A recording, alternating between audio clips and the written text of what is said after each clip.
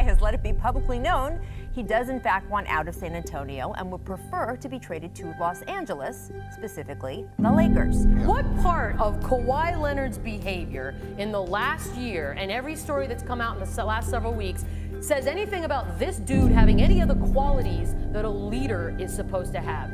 Why is Kawhi Leonard getting a hall pass with this whole situation, Reg? Like he doesn't even show up with the team. Eh, you know, that, that is that done? Is this relationship done? I don't understand the reason why he can't travel with the team and be around the team. They were up 20 points before his ankle injury last year in the playoffs in the conference finals. Yeah. So I think he has he has a valuable voice on this team.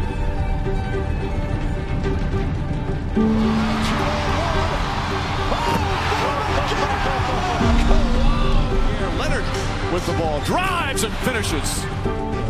I don't know who goes to the other end and does what he does. Not that many people on a consistent basis, you know, the entire game, game after game. Tell me what's more valuable than a guy who is the focal point of a 50-win team's offense and the focal point of said team's defense. The two-time reigning defensive player of the year and an elite scorer.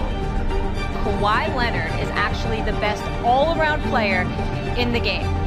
This guy had somehow figured out the perfect blend of all of those attributes on the offensive end. And then defensively, he's going to guard your best player. He doesn't matter who it is. If it's LeBron, Steph Curry, or at some point in the game, he wants to, he's going to be on the best. But, the, but nobody has what this guy has in terms of checking all the boxes. Nothing easy for the